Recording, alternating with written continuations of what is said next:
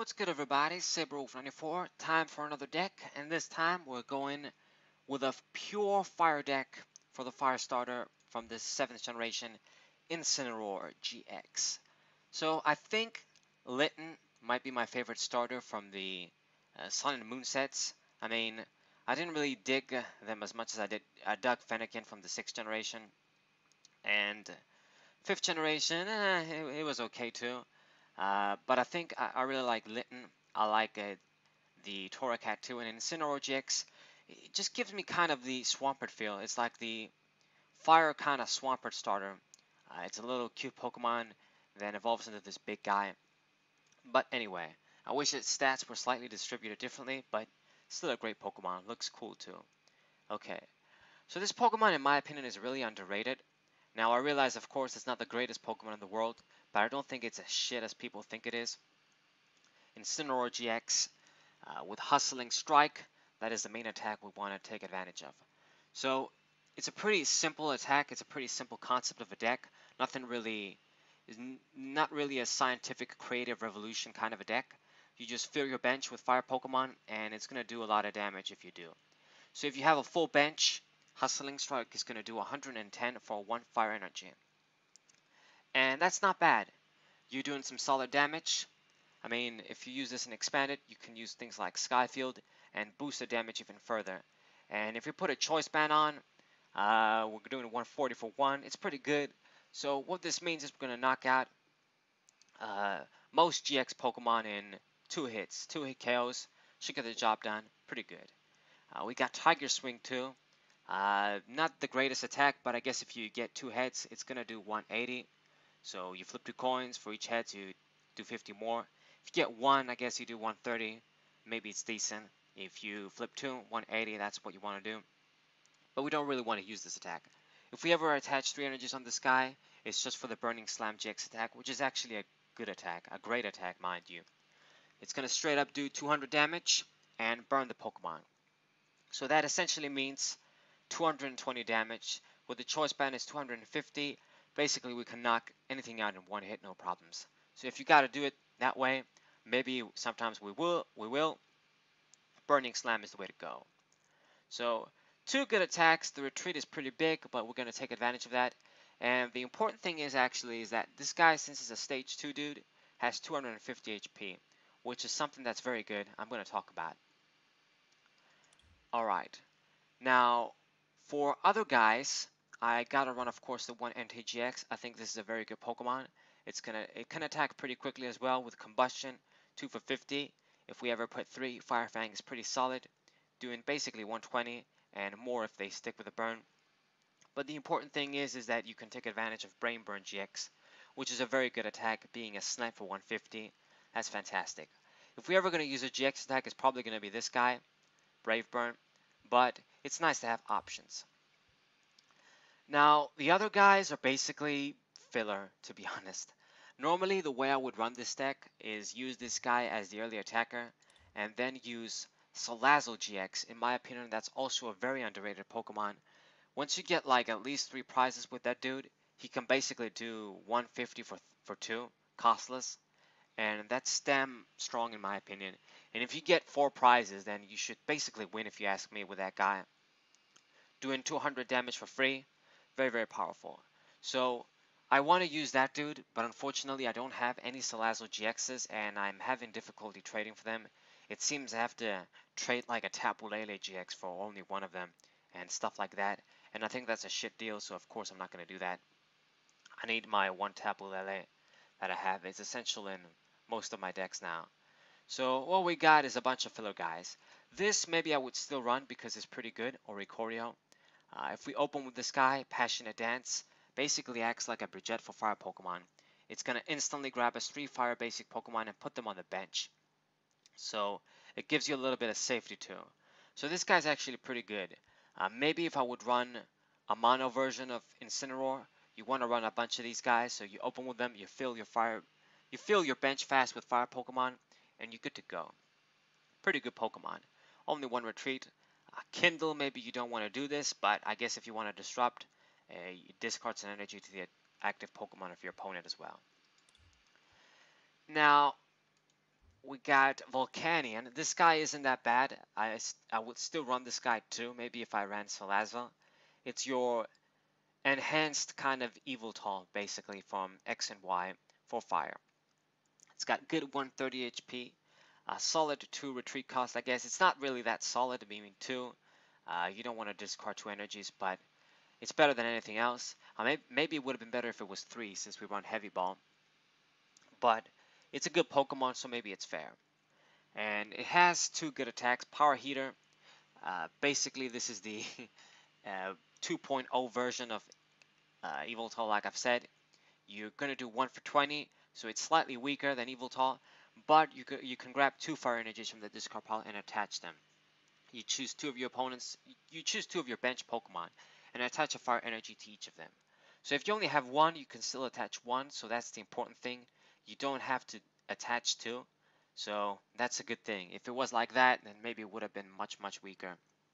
So maybe sometimes if we open with this guy, we can attack quick. Again, he's a fire Pokemon, so I can put him on the bench and help me with Incineroar. And it's one of the ways we can kind of uh, maybe attempt to build bigger attackers like Entei and maybe even this guy. Use Burning Slam GX and even Tiger Swing. When we don't have a big bench and we've got three on, Tiger Swing of course is going to be better than Hustling Strike. So you never know. It's one of the better fire Pokemon that I'm going to have if I just need to have fire Pokemon just for the sake of having them for this dude. And now the other three, they're just here to be here.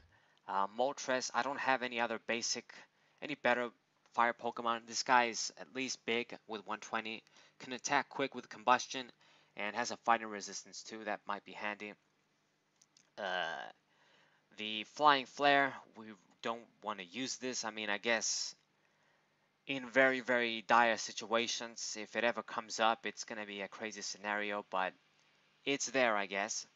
Uh, but this is a Pokemon, I guess, to attack quick if we open with, and it has one retreat cost, which is something that I like. It means that I can retreat this guy quickly if I open with him and I set up my bench and I can attack with Incineroar. It's pretty good. And Torkoal, this guy is kind of decent too. I think this guy, I think I like this guy a little bit.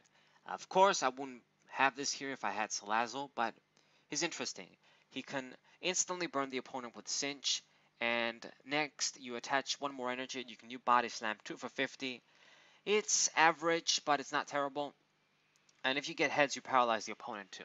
So with a little luck, this guy can be decent. 110 HP, not bad. Uh, 3 retreat cost is a big ass Pokemon. But maybe we can search this too sometimes if we have to with Heavy Ball. If we just want a Pokemon to have on the bench and we set up the Incineroars. Okay, so like I've said, I would probably remove these guys for more Oricorios if I did, but I only have one Oricorio too. So yeah, so these are the Pokemon. Uh, the line is actually, I didn't talk about the main line. You got four Litten, of course, and I actually run two Torracats because I think one isn't going to be enough. We want to get maybe not rely on rare candy so much and play a bunch of these, play them down, slowly get to Incineroar maybe. I think two is a good number. So okay, so we've got a bunch of um, perks for this kind of a deck.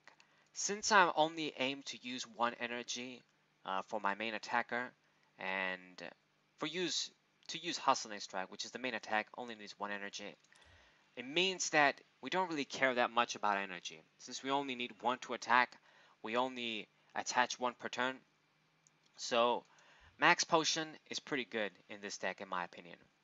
Uh, this is where the HP comes from. So things like Pokemon like Kingdra uh, can't really utilize Max Potion as well as they could have had maybe a couple of years ago because now Pokemon hit for strong damage easier. Uh, they can do a lot of damage, go like do 140 and shit, no problems. Maybe even with one energy. So it's not as good. But in this case, this guy is 250 HP, is a big ass Pokemon. Uh, it's going to be tough for opponents to knock this thing out in one hit unless they use water Pokemon. And honestly, if we play against a water deck, we're fucked to be honest. This deck is completely fire. And yeah, Max Potion they do a bunch of damage, they don't knock us out, we can just use this, heal all the damage from Incineroar, then attach another Fire Energy, we're ready to go again.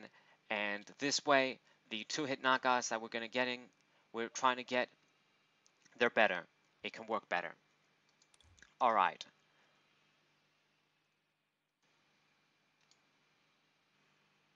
Same scenario with uh, Moltres. If I open with this guy, we can attack with Combustion, and then I can easily retreat, discard a Fire Energy, attach another one to the Incineroar if it's ready, and it's not that big of a problem. Uh, energies isn't really that big of a problem in this deck. Uh, we only function with one, like I've said, so we can retreat easily, uh, afford to spend an energy on a one retreat Pokemon, and use cards like Max Potion. So, uh, one of the things that I have to mention before I forget, as you guys can see, this is a pure fire deck. Before we talk about the trainers, I want to talk about this. It's a pure fire deck. I don't even run Mime, I don't even run Tapu Lele for consistency, even though that card could help a deck like this, because I really don't want to have any Pokemon stuck there. We want to maximize Incineroar GX's attack. Uh, if you just have like 5, it's going to do 90, and that might not be enough. We might we, we might not get two hit knockouts on GX Pokemon that way that go over like a 180 and shit. I want to do always 110. I mean, if I do less, if I have to attack with a bench that's not full, it is what it is. Uh, that's why we got the choice band too. But I always want to fill my bench with fire Pokemon. So this is why we won't be running Mime and Tapu Lele. It's a pure fire deck. But I still have, I still made the deck consistent with supporters and shit. Uh, so speaking of consistency, we got to have the nest balls. I got two nest balls here and one heavy ball. I would like to run more heavy ball, but one should do the trick. I'm only running three Incineroar GXs anyway. I only got three, but it gets the job done anyway, I feel like. Uh, we can instantly grab Incineroar with heavy ball. Uh, maybe in some fucked up situations you might grab this.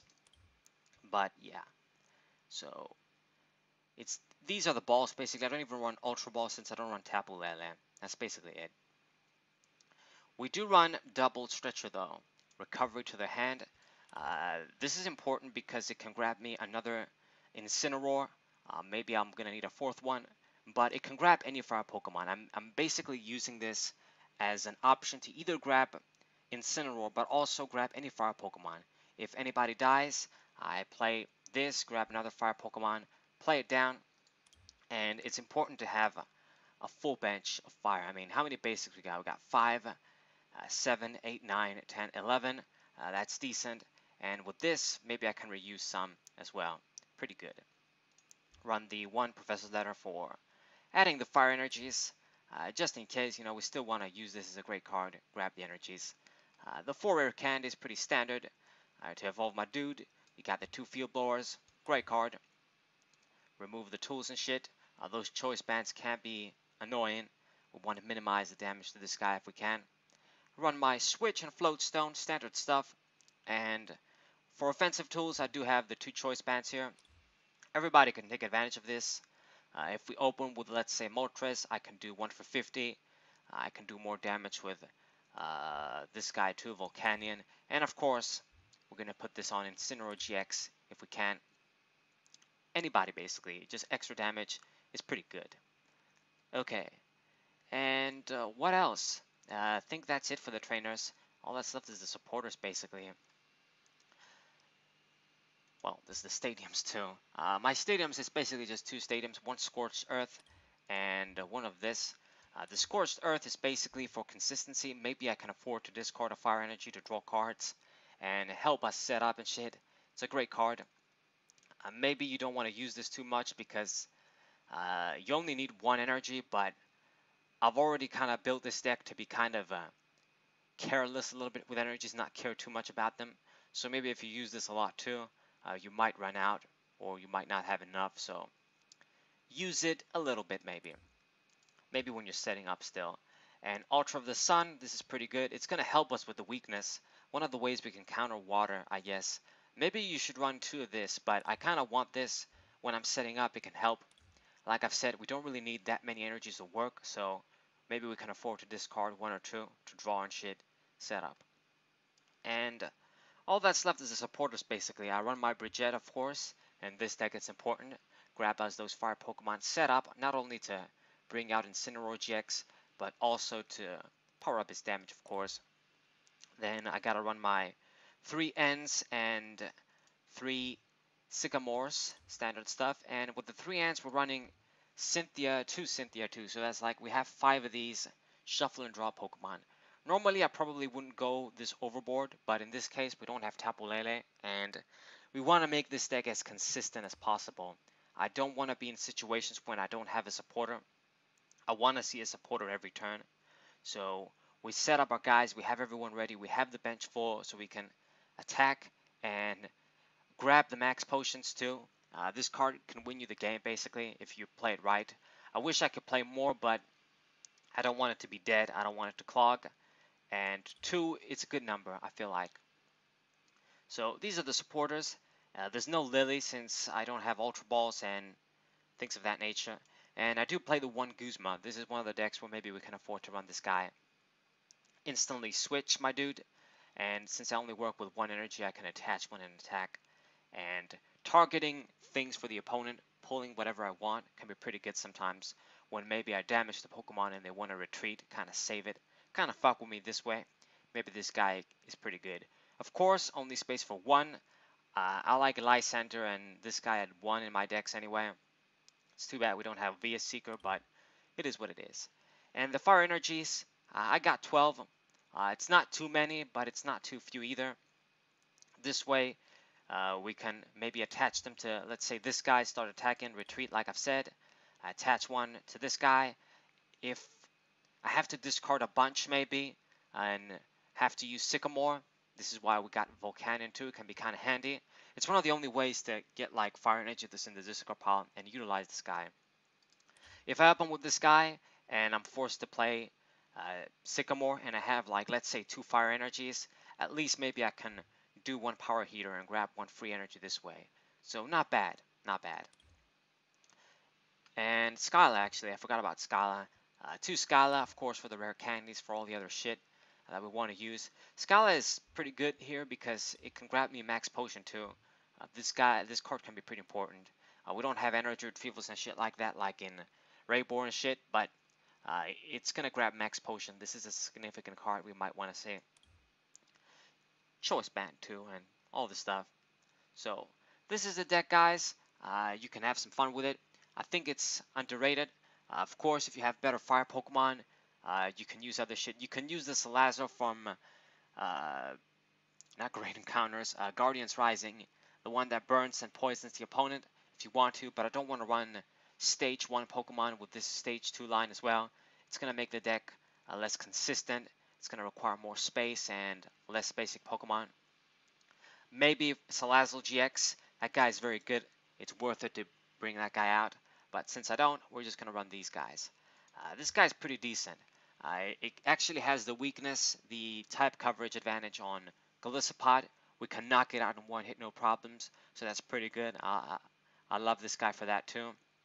Roast that pain in the ass guy, like the fucking aquatic uh, buck shit fossil it is, whatever the hell. It's not a fossil, but it's kind of like one of those Pokemon. So we've got the type advantage over that. I mean, I know people uh, talk about nowadays that the Lucario GX uh, is going to replace that dude. That is a better deck. Lucario GX, Zoroark GX, but I'm pretty sure that deck uh, is still going to see play. Uh. So you can burn this dude. Uh, you can kill Leafeon GX easily.